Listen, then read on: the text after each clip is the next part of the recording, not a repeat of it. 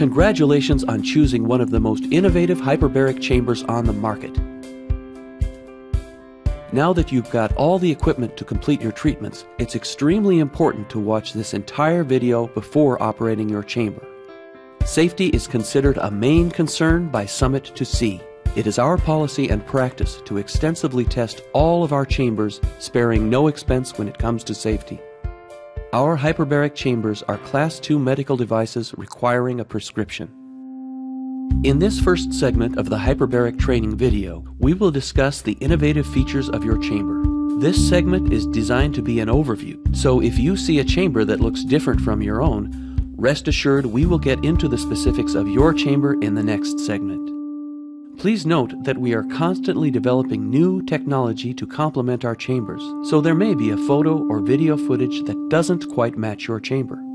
Follow along in the instructional manual as it will contain the most current updates or call your distributor if you have a question. First, each of Summit to Sea's hyperbaric chambers feature relief valves that are color coded to match the gauge. They are generally located on the top of the chamber next to other components. The blue relief valve will automatically start releasing pressure when the chamber is fully pressurized at 1.3 ATA. The yellow safety valve will only open in the event of an overpressure situation. Additionally, throughout the treatment, the blue valve will maintain a constant pressure inside the chamber. Caution! If the relief valve does not open for more than 10 minutes, you should immediately stop treatment and contact your distributor. The relief valves allow for the circulation of fresh air into the chamber and the expulsion of CO2 out of the chamber. Therefore, it is critical the valves are operating properly during a treatment. Additionally, throughout the treatment, these valves will maintain a constant pressure inside the chamber. Inside the chamber, the relief valve looks like this and is located on the ceiling of the chamber. One way to release the pressure from the chamber is by pressing the button in the center of this valve. Additionally, this is the dump valve for deflating the chamber and regulating the flow of air. It is featured on the interior and exterior of the chamber. The innovative design of the pressure dump valve allows you to have complete control of the rate that the pressure is released. Next, this is a fill valve where the compressor hose will be connected. This connection is called Quick Disconnect. The hose simply snaps into its fitting on the chamber. Please note, it is very important that the compressor remain on for the entire treatment period. This ensures circulation and exchange of air, providing a safe and comfortable treatment. Each chamber has an industry standard gauge that is color coded for simplified reading. The gauge is located on the exterior of the chamber and the accuracy is plus or minus 5%. Along with our highly translucent material, notice the windows on the chambers. This combination was designed to help provide comfort and convenience during your treatments. The shallow dive has one window. The dive chamber has three windows.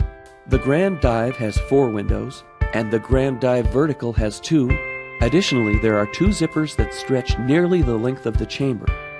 These zippers are dual triggered and can be opened and closed from the inside or outside of the chamber.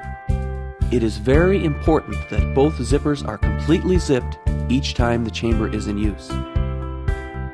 The belts that surround the chamber are vital to ensuring the chamber's integrity. Each belt fastens with a heavy-duty metal buckle. It is also very important that these belts are used each time you inflate the chamber. There are also a few other components on each chamber. This valve is the auxiliary valve featuring standard medical fittings.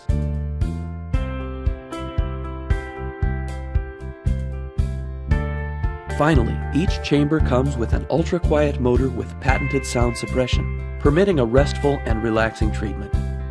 These highly compact systems are designed for continuous operation using a medical grade hose. Even with their small and compact profile, the highly efficient design offers generous airflow for a cool and comfortable experience.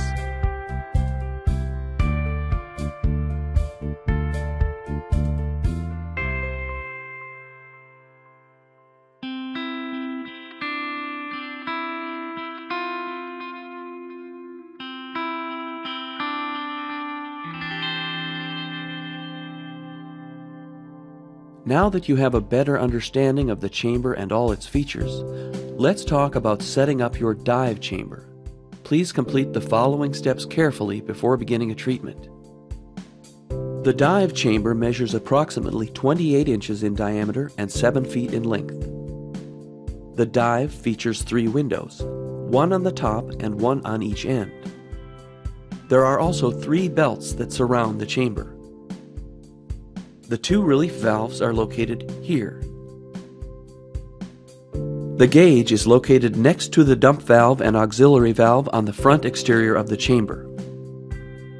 When you unpack the chamber, be sure you have the chamber, its frame, two bolsters, the mat, and two compressors with the hoses. First, lay out the chamber.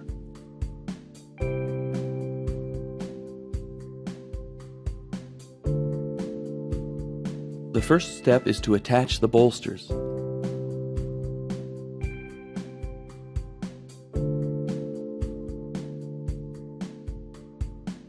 Place a bolster on each side and find the two external loops attached to the end belts. Slip the deflated bolster into each loop. Be sure the bolsters are placed through the loop of the belt, not the belt that surrounds the chamber. The bolster should look like this. Now, fill the bolsters using the compressor hose. Plug in the compressor and find the white adapter included with the DVD.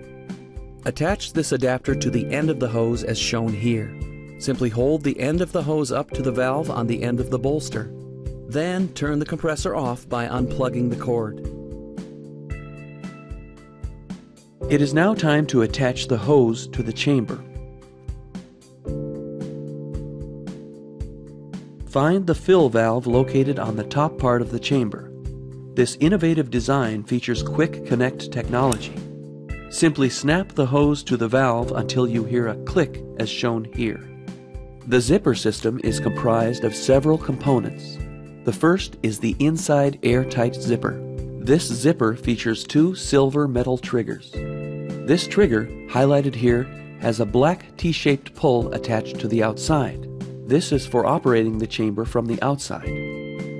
The other trigger, highlighted here, has a black T-shaped pull attached to the inside for operating the chamber from within. There are two horseshoe-shaped docks at each end of the airtight zipper. Next is the structural zipper that features only one trigger with a pull on the outside and a pull on the inside. Next are the handles located on the outside at each end of the zippers. These components will assist when opening the zipper. When you receive the chamber, it is configured for outside operation. Open the chamber by this outside T-shaped pull on the airtight zipper. When closing from the outside, notice the inside trigger located on your right is completely closed and secured in the dock. The outside trigger with the handle on the left of this view will be pulled to the left and secured in the same type of dock. Again, please be sure this trigger is secured tightly into the dock. Now close the structural zipper. This is how a properly closed zipper should look. A common consumer mistake is not closing the zipper completely as shown here. An additional mistake is allowing the trigger for the inside zipper to be stuck between the teeth of the zipper as shown here.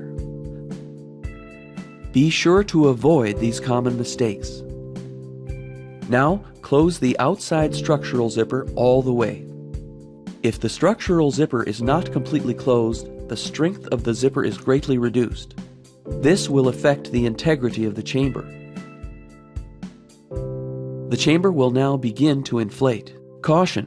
It is extremely important that each zipper is secured each time the chamber is used. Make sure the airtight zipper is 100% closed every time the chamber is in use. Also, make sure the structural zipper is secured 100% every time the chamber is in use. We cannot stress the importance of these components enough. Failure to follow these steps may result in damage to the chamber. The dive chamber is fitted with three belts that are fastened with buckles. Fasten each of the buckles and check to see that they are secure. Also, make sure the belts are not twisted.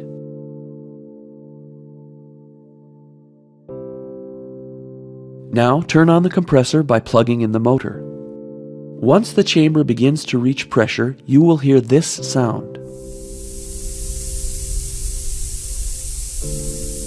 This is normal.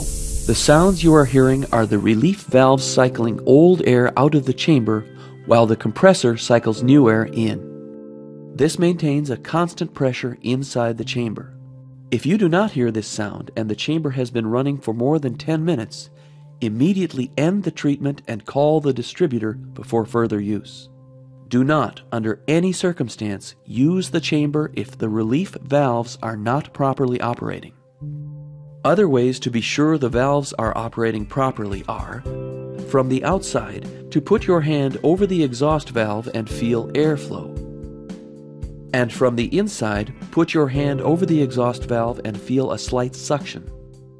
Remember, if they are operating incorrectly, discontinue use immediately. Now check the gauge. When the chamber is fully pressurized, the gauge should read in the blue zone, which is 4 psi. If the gauge is reading in the black zone, it is below proper operating pressure. The yellow area is a caution zone, meaning your chamber's pressure is above 1.3 ATA. If it does not seem to be reaching pressure, when the gauge reads zero, first check the zippers to be sure they are closed completely. Next, be sure the dump valve is closed and no air is escaping. If the chamber still does not seem to be reaching full pressure, call your distributor.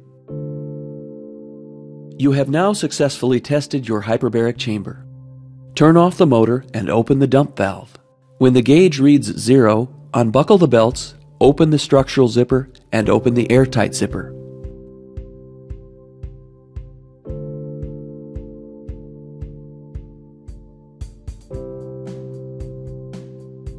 The previous steps were explained for outside operation.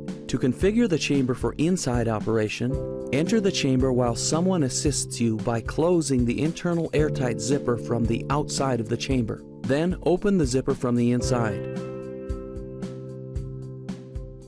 For those operating the chamber from the inside, first turn the motor on and buckle the belt by your head. Then step into the chamber and fasten the buckles before securing the zippers. Sit upright in the chamber while it's deflated and fasten the remaining buckles. Then close the structural zipper before closing the airtight zipper. Be careful not to miss the structural zipper and take extra care to be sure that both are closed completely. This plays a vital role in retaining the integrity of the chamber. When deflating the chamber, turn the red knob located on the inside of the chamber. The innovative design of the pressure dump valve allows you to have complete control of the rate that the pressure is released. By rotating the dump valve in either direction, air is released from slow to fast. In the first position, the air will be released very slowly and the pressure will stabilize at about 1.5 psi. This position can also be used when pressurizing the chamber to reduce ear irritation by slowing down the pressurization process. There are multiple indicators to help you determine when the chamber has reached a safe pressure to open the zipper. When the sides of the chamber are softening, the sound of the exhaust valve has lessened, or you no longer feel the pressure in your ears, give the inside airtight zipper a quick tug, opening it approximately 3 inches. Wait 5 seconds. Then open the zippers, unbuckle the belts, and climb out.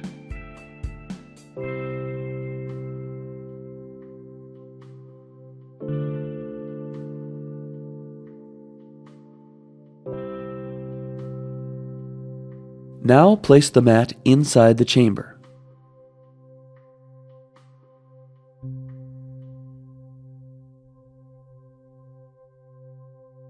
It is now time to assemble the frame. Notice that this innovative external frame consists of three pieces. The two side pieces, labeled number 1 and 2, are identical and therefore interchangeable. The third piece, labeled number 3, is the straight rod that will help support the top of the chamber. Also notice that each piece is connected with a string. Snap those together. It is best to build the frame around the inflated chamber. Do not try to build the frame by itself. There are straps attached to the bolster to secure the frame. Take piece number one and thread it through the two strap loops on one side. Then take piece number two and thread it through the two strap loops on the other side.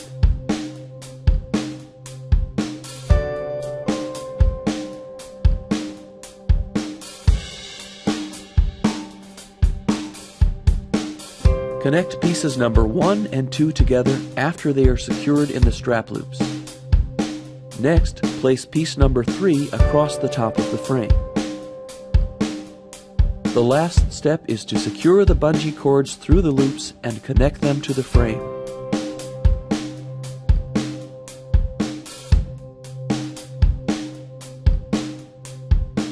As the chamber begins to inflate, you will notice an added pressure in your ear.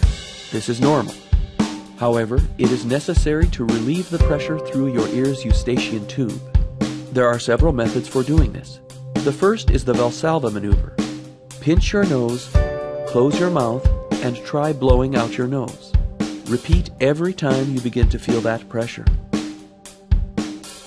Yawning or opening your mouth wide can also help. Lastly, chewing gum may help relieve this pressure. The pressure feeling is similar to that of changing altitude or landing in an airplane. If the pressure is not relieved, temporarily turn off the compressor until you feel relief. Also, opening the dump valve may relieve this pressure. Continue to stop and start the compressor until the chamber reaches full pressure. The compressor should only be off for a brief time, about one minute, as the compressor must remain on in order to maintain quality air inside the chamber. Once the chamber reaches full pressure and the relief valves open, continue to run the compressor to prevent carbon dioxide buildup. For your convenience and comfort, you may take beverages, laptops, phones, DVD players, or any other form of entertainment into your chamber. You may even take a nap while inside the chamber. We do ask you to please refrain from bringing in shoes or sharp objects such as knives or forks. Be sure you are fully familiar with these procedures before taking a treatment. Remember these important steps. Be sure both zippers are completely closed. Each belt must be securely fastened. The motor must remain on during the entire treatment. And the relief valves must be operating properly. Following these steps will ensure a safe and comfortable hyperbaric experience. These instructions will also enhance the life of your chamber, avoiding unnecessary damage or failure. Not following these instructions may result in damage that is not covered by your warranty. We are committed to your satisfaction.